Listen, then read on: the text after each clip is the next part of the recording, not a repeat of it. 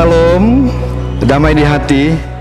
Puji Tuhan, hari ini saya bisa membagi kasih dengan saudara-saudara dengan kebenaran firman Tuhan yang saya ambil dalam Mazmur pasal 121 ayat 4 dan ayatnya yang kelima firman Tuhan berkata begini sesungguhnya tidak terlelap dan tertidur penjaga Israel Tuhanlah penjagamu, Tuhanlah naunganmu di sebelah tangan kananmu. Saudara-saudara dalam hidup ini kita harus memiliki satu keyakinan bahwa Allah yang kita sembah, Allah yang kita muliakan adalah Allah yang hidup yang senantiasa memperhatikan, mempedulikan kehidupan kita manusia. Memang kita sudah satu tahun lebih mengalami pandemi COVID-19. Kita tidak bisa berbuat apa-apa karena memang pandemi ini bukan hanya terjadi di Kota Bitung di Indonesia, tetapi pandemi ini terjadi di seluruh dunia dan banyak negara-negara mengalami persoalan yang begitu amat besar termasuk juga kita yang ada di kota Bitung. Tetapi saya memberikan keyakinan kepada saudara-saudara sekalian bahwa sesungguhnya Tuhan Allah yang kita sembah itu adalah Allah yang hidup. Seperti yang dikatakan oleh pemazmur bahwa Tuhan itu tidak pernah tertidur. Bayangkan saudara sejak dia menjadikan langit dan bumi itu sudah beribu-ribu tahun lamanya dia tidak pernah tertidur dia tidak pernah terlelap tetapi di setiap saat dan waktu dia memperhatikan kehidupan saudara-saudara.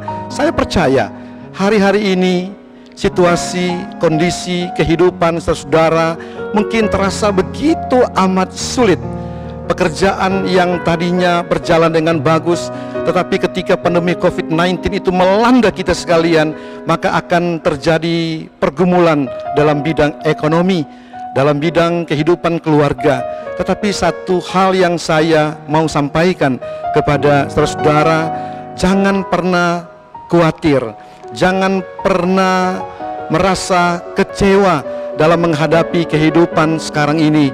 Karena sekali lagi Tuhan itu menjadi penjaga Israel. Sebagai seorang penjaga dia selalu senantiasa memberikan hal yang terbaik, yang terindah. Dan kemudian dia senantiasa berada di sebelah kananmu itu pertanda bahwa di mana pun kita pergi dan berada maka di situ Tuhan ada tidak mungkin Alkitab mengatakan bahwa dia ada di sebelah tangan kananmu tetapi dia tidak ada bersama dengan kita. Nah, oleh sebab itu saya memiliki satu keyakinan bahwa pandemi COVID-19 ini kita ketika kita doakan bersama pasti dia akan hilang secara sendirinya.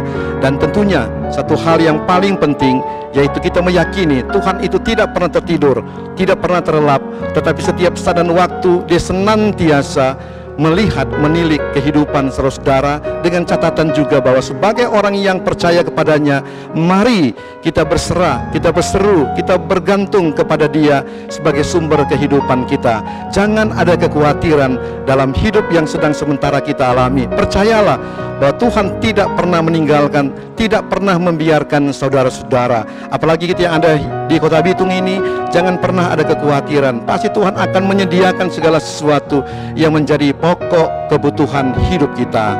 Tuhan memberkati saudara-saudara hari ini, besok sampai selama-lamanya. Amin.